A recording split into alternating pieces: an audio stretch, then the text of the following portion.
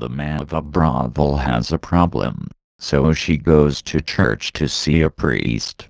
I have two talking female parrots, she tells him. All they can say is hello, we're prostitutes. Do you want to have some fun? That's awful, the priest agrees. But I have a solution to your problem. I have two male parrots whom I've taught to pray and read the Bible. If we put your parrots with mine, I believe yours will stop saying that awful phrase and will instead learn to recite the Word of God.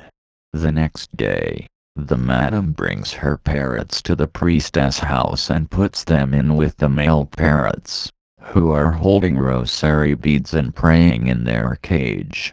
Hello we're prostitutes. Say the females. Do you want to have some fun? One male parrot looks at the other and squawks. Close the Bible, Frank. Our prayers are answered.